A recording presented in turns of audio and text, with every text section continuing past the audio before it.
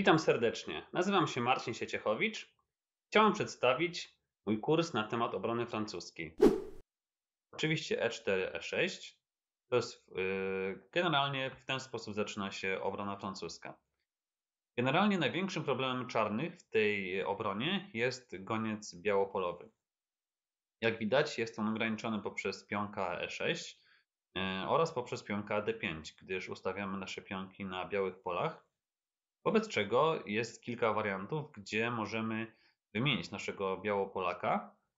E, I oczywiście, kiedy jest tylko taka możliwość, to warto z tej, z tej opcji skorzystać. Inną ważną rzeczą w obronie francuskiej jest to, e, że jest to debiut zamknięty. E, także będzie tutaj wiele gry manewrowej. Oczywiście są też warianty, gdzie gra staje się nieco ostrzejsza, nieco bardziej otwarta. Jednak jeżeli chcesz grać tę obronę, to zdecydowanie musisz się zastanowić, czy, czy bardziej tobie odpowiada styl gry ostry, czy jednak preferujesz e, pozycje zamknięte. Jeżeli należysz do drugiego typu, to jak najbardziej możesz próbować grać obronę francuską.